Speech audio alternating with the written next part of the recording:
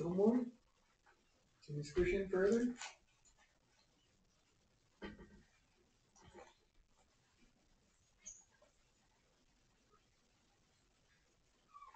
Oh, hi.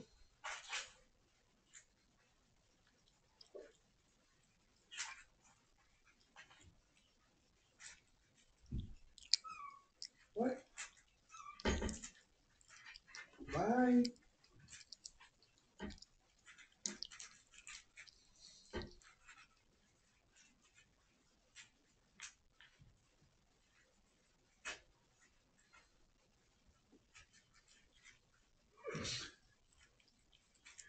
I'm sure that's not annoying at all. What she's trying to eat, buddy.